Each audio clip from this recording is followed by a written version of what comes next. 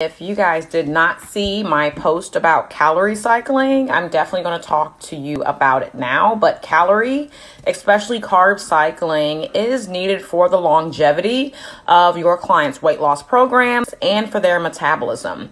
You don't carb cycle just because you get stuck. All of our clients that we coach and all of the coaches that I mentor, in macro mentorship, we teach them to carb cycle their clients as soon as possible. It's not something you do when you're not losing weight. It's not something you do because you're losing weight too fast.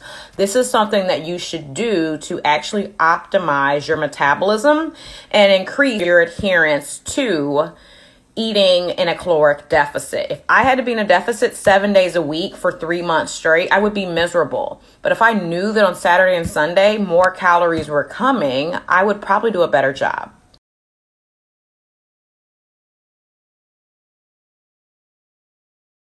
No one gets a medal for eating in a deficit for three months straight. You do get a medal for dieting smarter and macroing responsibly so I'm not all about coaches that are putting clients on 1200 calorie diets till the end of time.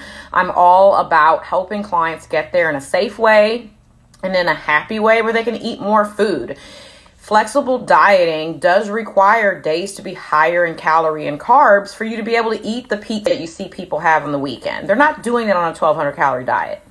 So if you didn't know how they were doing it, this is how they are doing it. They are showing you the higher calorie, the higher food days. You can't work that stuff in every single day. You can have anything within reason, but if you want to have a larger quantity, you can do it with calorie cycling and still lose fat and still lose weight. If I'd have known how to do this seven, eight years ago, I would have been done it.